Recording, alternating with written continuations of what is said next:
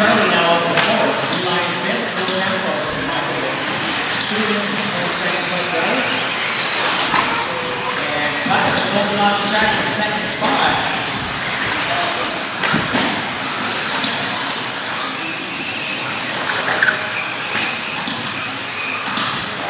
That leaves Lucas Harrington out. Patrick Seal bumping up.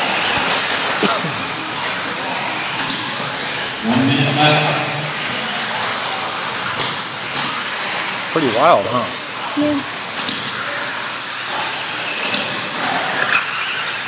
Lucas Harrington out front, Patrick Seal in second spot. Uncle Charlie in third. Eli in fourth. And then on the races, they start on these lines, so that, that's even fair. You get a longer straightaway if you're last.